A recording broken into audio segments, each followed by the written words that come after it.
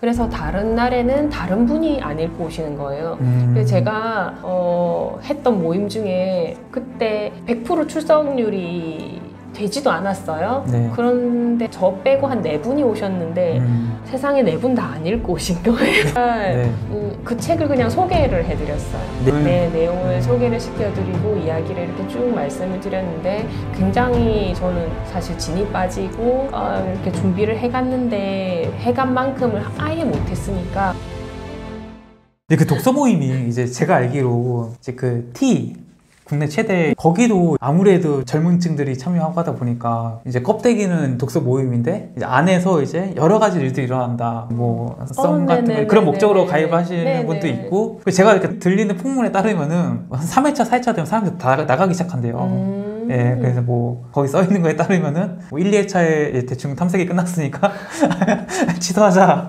약간 이런 게 있다는데 아니 네. 그 독서 모임이 좀 이제 변질될 수도 있잖아요. 이게 아무래도 뭐 사람이 모이는 아, 거고. 또 어떤 뭐 특출난 사람이 네네. 들어오면은 그 사람 분위 휩쓸리기도 하고 이 우리 독서 모임이 제대로 가고 있지 않다 이런 음. 좀 위험 징후 같은 것도 있을까요? 저는 좀 많다고 생각해요. 음. 그런 것들이. 일단은 책을 읽고 오지 않아요. 오기는 오세요. 네, 저는 왜 오지라고 네. 생각했거든요. 근데 오기는 오시는데 책을 안 읽고 오세요. 음, 안 읽고 오시면 사실 말할 게 없잖아요. 그렇죠. 그러면 자기 얘기, 책과 관련된 없는 이야기를 음. 하기 시작해요. 이것이 굉장히 저는 그 하나의 구멍이라고 생각하거든요. 음. 이게 한 분이 그렇게 하면 옆에 분이 아 나도 그렇게 해도 되겠구나가 음. 은연중에 들어오나 봐요. 그래서 다른 날에는 다른 분이 안 읽고 오시는 거예요. 음, 그래서 제가 어, 했던 모임 중에 그때 100% 출석률이 되지도 않았어요. 네. 그런데 저 빼고 한 네 분이 오셨는데 음, 세상에 네 분 다 안 읽고 오신 거예요.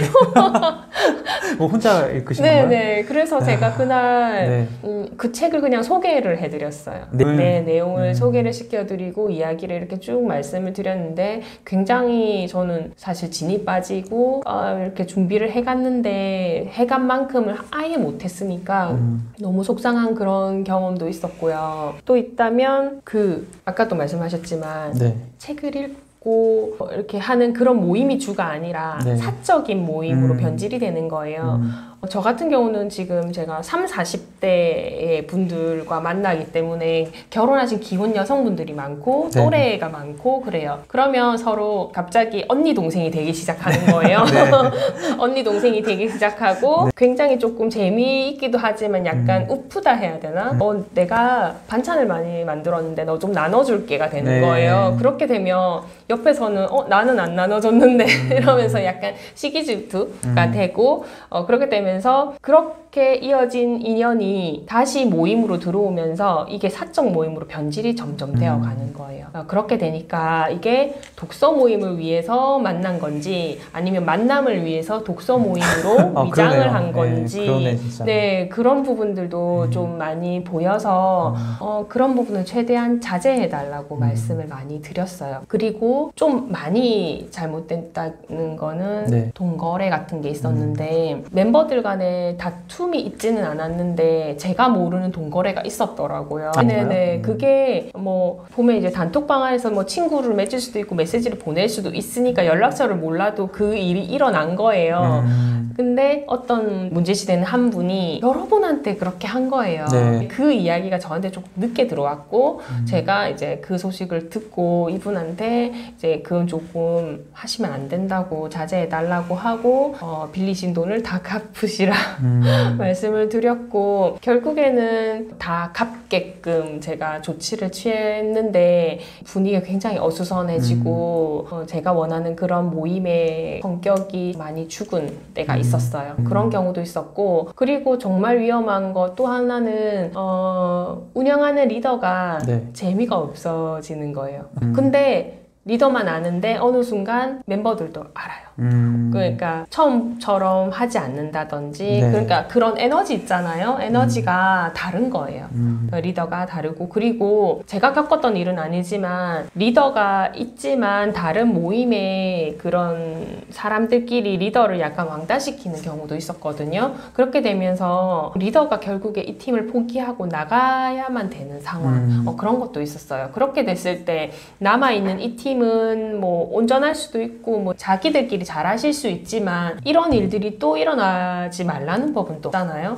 그래서 그런 것들이 있을 때 어, 차라리 어, 팀을 해체를 시키고 조금 정비하는 시간을 가졌다가 새로운 사람들과 다시 음. 시작하시면 더 좋을 것 같다는 그런 말씀도 좀 드려요.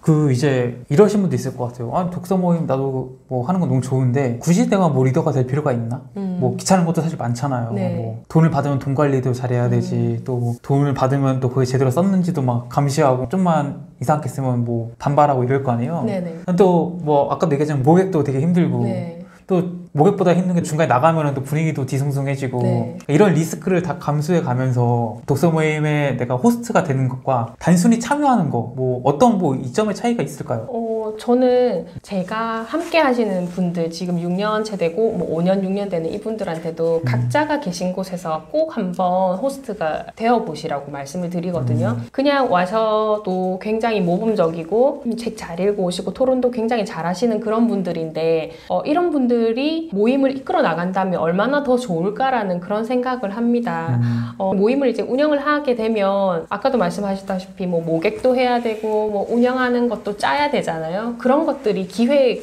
을 하는 능력을 일단 길러지게 되고 모객을 할 때 어떻게 어떤 방향으로 해야 될지 어떻게 글을 쓸지 뭐 이런 것들도 생각을 하게 되거든요. 내가 그냥 단순히 회원으로 왔을 때는 뭐 엄마가 차려준 밥을 맛있게 먹는 정도라면 어, 내가 호스트가 되는 거는 오늘 가족들을 위해서 어떤 밥을 차릴까, 어떤 국을 할까 이런 걸 음. 조금 구상하는 것 그리고 만들어내는 것에 대한 그런 희열 어, 그런 게 있거든요. 어, 실제로 저희가 운영했던 곳에 5개월 쌍둥이를 둔 엄마가 왔어요. 그 아이들을 남편에게 맡기고 네. 그렇게 왔었는데 그분이 저한테 제가 한번 만들어 보겠습니다 하고 나가야 되겠다 그 말씀을 하셨어요. 그래서 어, 어떤 독서 모임을 만드실 거냐고 했더니 고전 문학을 하고 싶다 이렇게 음, 말씀을 음. 하셨어요. 저희는 뭐 자기 개발도 읽고 자녀 교육 이런 것도 많이 읽었었는데 어, 이분은 아예 나가서 고전 문학을 읽으시고 그리고 뭐 지원 받는 독서 동아리 지원 받는 음, 거 음. 그런 것도 신청하시고 뭐 그런 식으로 다양하게 활동을 하셨거든요. 그렇게 하시면서 어, 나중에는 책도 쓰시고 음. 굉장히 자기 개발을 많이 이제 자기 개발이라는 그런 모든 스텝을 다 밟아 나가신 것 음. 같아요. 어, 그런 분도 계시고요. 또 다른 분은 이제 회원을 하시다가 또 이제 나가셨던 이유가 대학원 같은 데서 쓰는 큰 두꺼운 교재로 네. 한번 독서 모임을 해보겠다 이렇게 음. 말씀하시는 거예요. 왜 처음엔 저도 이렇게 두꺼운 책을 어, 읽을 사람이 과연 있을까라는 생각을 했는데 그 맞는 분들이 있는 거예요. 음. 그래서 정말 두꺼운 책이었거든요. 그런 전공책 같은 것들로 모임을 하시면서 그분도 역시 뭐 지원 사업도 하시고 뭐 그렇게 하면서 조금 다른 회원분들을 가르치는 정도까지 이렇게 연결이 되면서 굉장히 자기 개발에 어, 회원으로 있을 때보다는 운영자로 있을 때더 많은 효과를 보신 분들이 어, 주변에 또 계시다 보니까 어, 회원하지 마시고 회원도 좋지만 네. 회원하시면서 모임을 한번 만들어 보시라고 그렇게 말씀을 드렸고 최근에 제가 이번 책이 나오고 나서 조금 더 모임을 만들어 보세요라는 내용이 많거든요. 네. 그렇게 하니까 어, 제가 처음부터 그렇게 말씀하셨던 분들 중에서 주저주저 하셨던 분들이 음. 지금 한 명, 두 명 데리고 운영을 또 하기 시작하시는 거예요. 그러면서 어, 조언을 구하기도 하시는데 어, 정말 저는 굉장히 보람되고 저한테 오는 수익은 하나도 없지만 어, 굉장히 뿌듯한 그런 음. 모습들을 많이 보고 있습니다. 작가님은 현재 참여하고 있는 독서 모임 몇 개인가요? 지금 하고 있는 거는 두 개 있고요. 두 개? 그리고 음. 매달 모집하는 거 하나 있습니다. 그럼 총 3개인가요? 네. 매달 모집하는 거는 책을 선정해서 공지를 띄워서 네네. 거기 오시는 분들이 그거는 이제 멤버들이 주로 바뀌겠네요. 네, 그렇죠. 나머지 계속 두 개는 그러면 똑같고 똑같고. 어... 네, 계속. 아, 하나 더 있어요. 네 개예요 그럼? 어, 어, 네, 그런 거. 한 달에 한 번씩 하니까. 음. 네. 어, 네, 그렇게 있어요. 어, 그럼 그 독서 모임 그네 개를 운영하시면서 만약에 어떤 사람이 어, 저는 독서 모임으로 돈 벌고 싶어서 해보고 싶어요. 그냥 뭐 책도 읽고 사람도 만나고 돈도 벌면 좋은 거 아닌가요? 라고 질문을 한다면은 네네. 뭐라고 답변을 좀 해주고 싶으세요? 얼마나 돈을 벌고 싶을까요?